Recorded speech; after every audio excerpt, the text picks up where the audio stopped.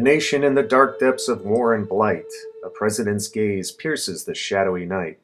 And whosoever in his day would have thought this frontier rail splitter such salvation could have brought.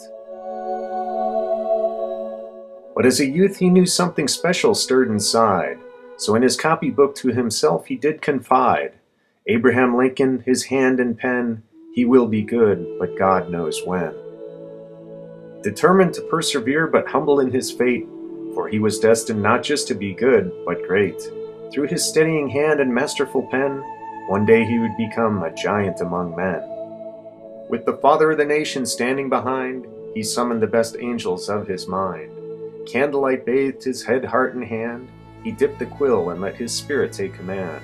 And what came forth was of such magnificence, no prose or verse could compare it to its eloquence.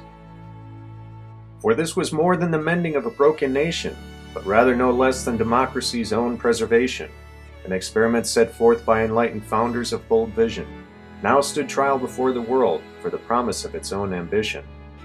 Humbly the sage attested no words could further consecrate what soldiers' blood at Gettysburg had come to mandate, that a union would be preserved in an ideal given rebirth, that such an institution shall not perish from this earth, shall not perish from this earth, shall not perish from this earth.